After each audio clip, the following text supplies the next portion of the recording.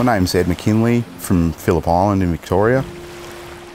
I think I've had pretty bad hearing loss for a long time. I was an electronic explosive technician for a number of years. Had a lot of concussion sounds that even while wearing ear protection still affected my hearing. If there was any type of background sound, I actually couldn't hear anything. Good friends of mine were like, I was, I was yelling at them, and uh, I noticed when I met new people, I'd sort of say hi, like that, and they'd sort of step back. In relationships with your partner, you know, there's so much loss of communication, is what I've found, and it ends up being in arguments.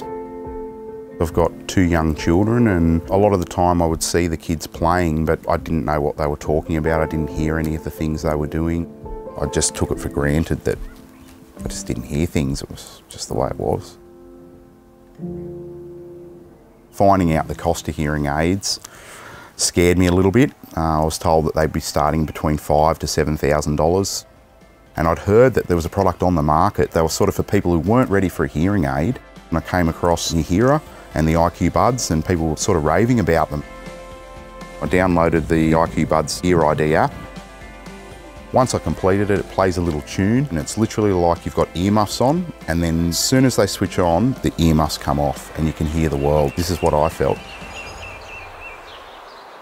I could hear someone singing, and I was like, wow, it was just such a, a beautiful, soft tone that I hadn't heard for a long time probably since I was a child when my mum used to sing to me when I was in bed. And um, it just, I just got up straight away and I just flew out that door and I looked and I, I saw, I saw my little girl there.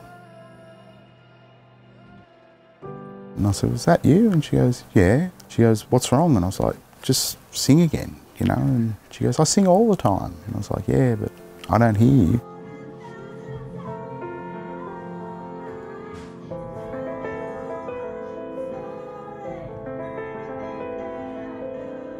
She wanted to know why I was crying and if she needed to get mum or not. And I said, no, no. And she said, are they happy tears or sad tears, Dad?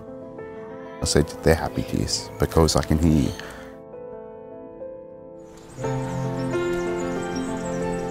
With the IQbuds Boost, just going for a walk, the sounds you can hear, there's a lot of bird life. Like that bird just then, I heard that, you know what I mean? And that really impacted me. Like that was, that was a little snap there, you know? I can't explain the feeling of being able to go from where I was to be able to hear like that again. Just so many different sounds. The kids playing, I was like, wow, I don't remember hearing all of this. Good. You're drawing a plane, are you, mate? Both my children are on the spectrum. They suffer from ASD. They're really distracted at school by background sounds. Uh-huh. I let my daughter try them on and... I can hear my pen a lot better. It's a bit like she goes, I really like them. And I said, yeah, they're good, aren't they? I've now just recently got my first radio control boat, so I've been running that around and definitely increases the experience of when the boat runs past. And that's the whole thing with motorsport is you love the sound of it. One thing I like about the way they look is it does sort of, for a young person's point of view, it looks like you've just got normal headphones in. I don't even notice they're there.